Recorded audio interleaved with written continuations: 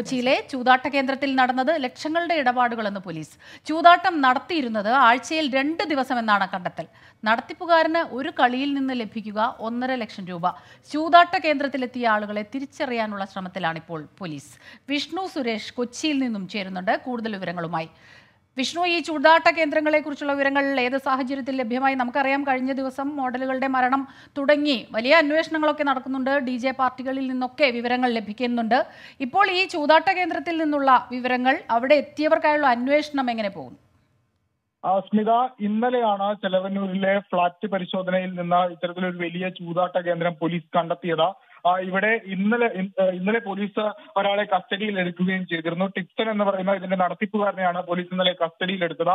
ഇയാളിൽ നിന്ന് ലഭിച്ച വിവരമനുസരിച്ച് ആഴ്ചയിൽ രണ്ട് ദിവസം ഈ ഫ്ളാറ്റിൽ ചൂതാട്ടം നടന്നിരുന്നതായാണ് പോലീസ് പറയുന്നത്. ഏകദേശം എട്ടോളം ആളുകൾ ഒരേ സമയം ഇവിടെ ചൂതാട്ടത്തിനായി എത്തിയിരുന്നു. ഈ ഒരു കളിയിൽ നിന്ന് ഒന്നര ലക്ഷം രൂപയുടെ ലാഭമാണ് ഇതിന്റെ നടത്തിപ്പുകാരനായ ടിപ്സന് ലഭിച്ചിരുന്നതെന്നും പോലീസ് പറയുന്നുണ്ട്. ഇത് കളിച്ചിരുന്ന ആളുകളെ കണ്ടെത്താനുള്ള ശ്രമത്തിലാണ് പോലീസ് നിലവിൽ ഉള്ളത്. ഇതൊരു വലിയ ചൂതാട്ട കേന്ദ്രം തന്നെയാണെന്നാണ് മനസ്സിലാകുന്നത്.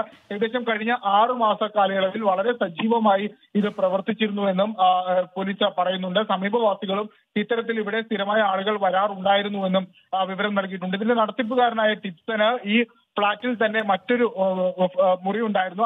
അതിനുശേഷം അയാൾ വീണ്ടും അറുപതിനായിരം രൂപ മുതൽ മുടക്കിലാണ് ഈ പുതിയ ഫ്ളാറ്റ് വാടകയ്ക്ക് എടുത്തത്. തുടർന്നാണ് ഇവിടെ അത്യാധുനിക രീതിയിലുള്ള ചൂതാട്ട കേന്ദ്രം സജ്ജീകരിച്ചത്. ഇവിടെ എത്തുന്ന ആളുകൾക്ക് മദ്യം ഉൾപ്പെടെ വിളമ്പുന്നതിന് വേണ്ടിയുള്ള എല്ലാ സൗകര്യങ്ങളും ഉണ്ടായിരുന്നു. നേരത്തെ ഞാൻ സൂചിപ്പിച്ചതുപോലെ ഒരേ സമയം എട്ട് പേർക്ക് ചൂതാട്ടത്തിൽ ഏർപ്പെടാൻ പറ്റുന്ന തരത്തിലുള്ള സജ്ജീകരണങ്ങളാണ് ഇവിടെ ഉണ്ടായത്. ഈ വസ്തുക്കളെല്ലാം തന്നെ പോലീസ് ഇന്നലെ തന്നെ പിടിച്ചെടുത്തിരുന്നു. ഇത് കോടതിയിൽ ഹാജരാക്കിയിട്ടുണ്ട്.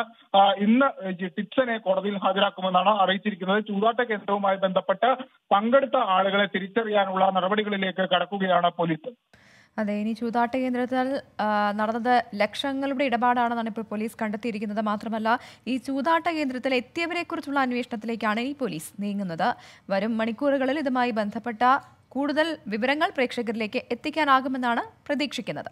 ലോകത്തെവിടെയായാലും ഏത് സമയത്തും ട്വന്റി ഫോർ വാർത്തകളും ഓക്മെന്റഡ് റിയാലിറ്റി പാക്കേജുകളും എക്സ്പ്ലെയിനറുകളും വിശദമായി കാണാൻ ഞങ്ങളുടെ യൂട്യൂബ് ചാനൽ നിങ്ങൾക്ക് സബ്സ്ക്രൈബ് ചെയ്യാം.